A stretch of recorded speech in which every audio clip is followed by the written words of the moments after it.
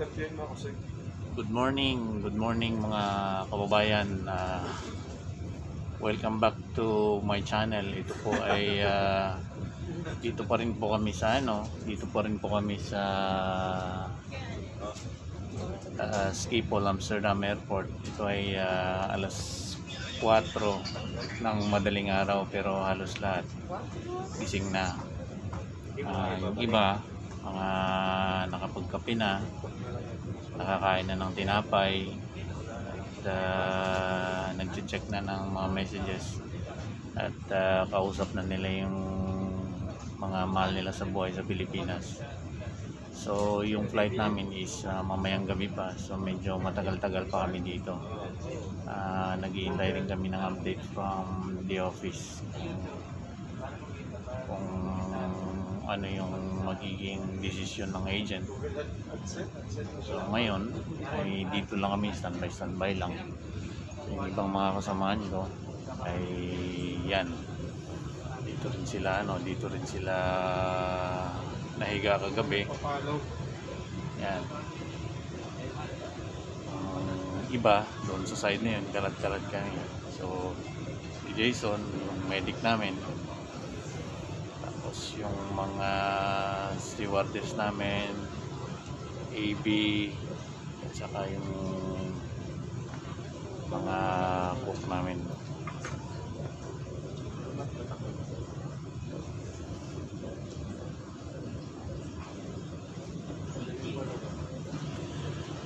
So bali ang magiging activity namin ngayong araw ito lang ah maghintay-hintay lang hanggang ano hanggang departure ah, departure time namin.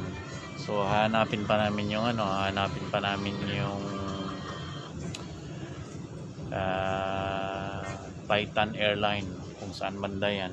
So hanap hanapin pa namin yung ah, help desk niya mamaya para makapag ano kami para makapag check-in.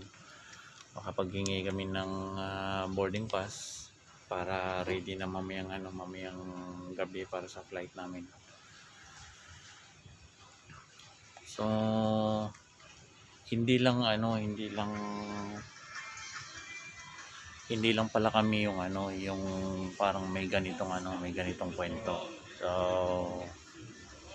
kagabi nung nandun ako ano, nandun ako sa kabila na nahiga during ah, random security inspections.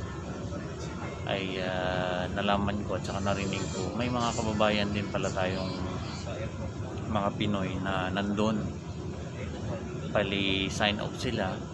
Offshore din sign off sila sa Trinidad. Tapos dito yung connecting flight nila.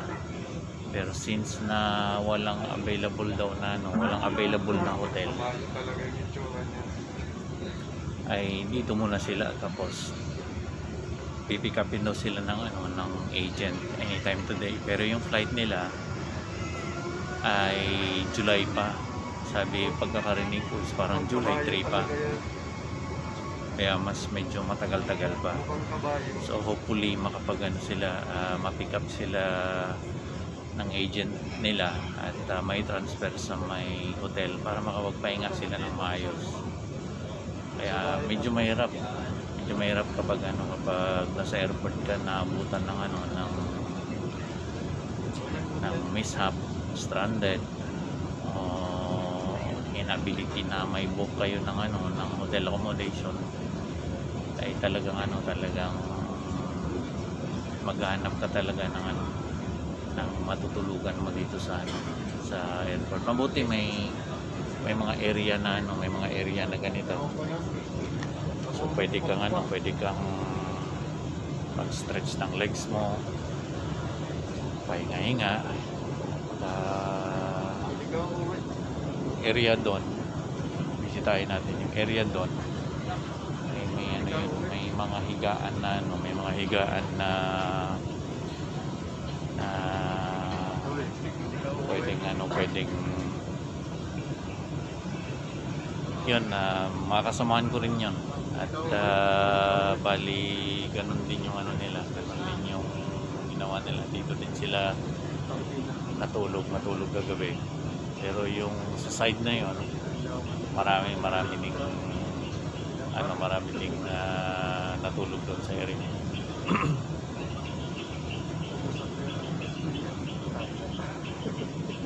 Ayan.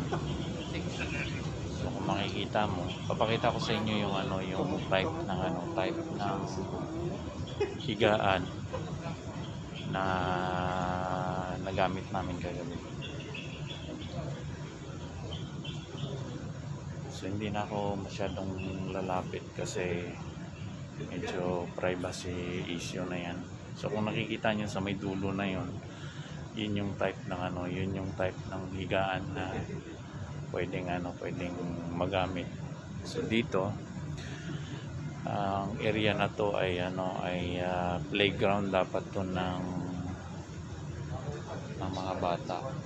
So dito sila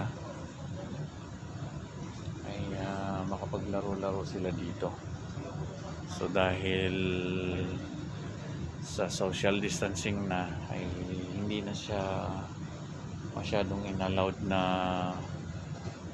maglaro dito. Kumbaga is or standbyan na lang. Pero hindi na pwedeng maglaro yung ano yung mga bata.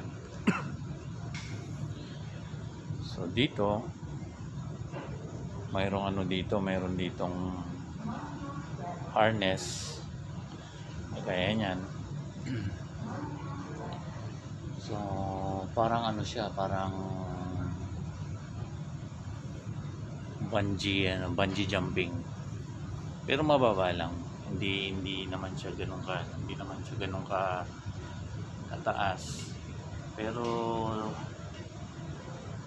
okay na rin para sa mga bata na hindi ma-board yung mga bata. Pero kung gusto mong subukan din kahit may edad siguro baka pwede rin. Yan. Ano to bali mayroon siyang tatlong harness dito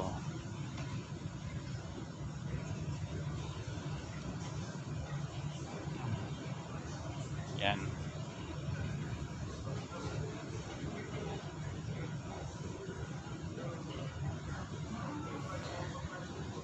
So dito sa area na to, ang kagandahan nito dito is uh, nandito na rin yung ano, nandito na rin yung yung screen, monitor screen ng flights. Kaya kung dito ka matutulog, ito yung type ng mga matutulugan. So nakikita nyo ay uh, medyo ma-straight up mo yung legs mo.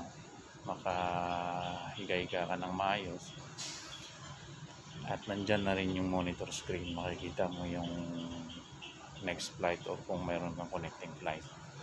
Dito sa area na to,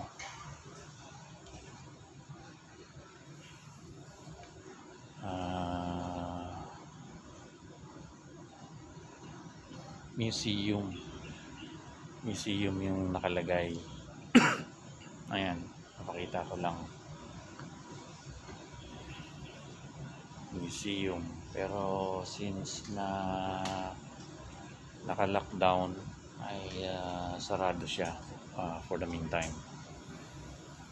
So yan. Yan yung may share ko sa inyo sa sa time na to sa pagstay namin dito sa may Schiphol Amsterdam Airport. So babalik na lang muna ako dun sa ano sa area ng mga kasamahan ko para ano para